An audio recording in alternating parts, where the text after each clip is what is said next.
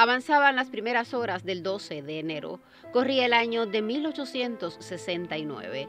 Detener a Balmaceda y sus hombres era ya un imposible.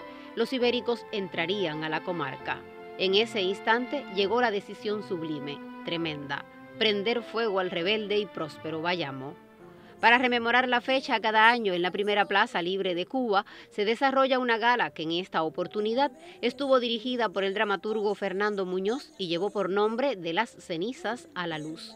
En ella, Reidier Bernal, presidente del Poder Popular en la capital granmense, contextualizó el suceso e invitó a juntarse en aras de consolidar los sueños de aquellos hombres y mujeres que antepusieron el bien patrio a vida y fortunas. Y justo en esos minutos de homenaje a los héroes, Javier Vega, presidente de la Unión de Historiadores de Cuba en la provincia, convocó a honrar de manera distintiva a Carlos Manuel de Céspedes, líder de una generación gloriosa que sigue marcando pautas en el devenir de la nación pues este año se conmemora el 205 aniversario de su natalicio.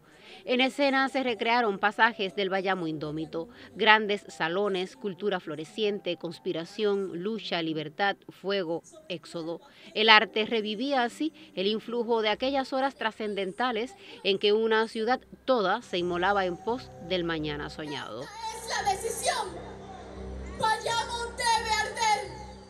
A la velada asistieron Yudelquis Ortiz Barceló, primera secretaria del partido en Grauma, y Yanexis Terry, gobernadora del territorio, entre otros dirigentes. Los vallameses, como es tradicional, también estuvieron presentes. Ellos devienen alma del tributo, no les trae convocatoria alguna. Les junta acá la fuerza de un hecho que enorgullece y distingue este suelo tan fecundo como su gente.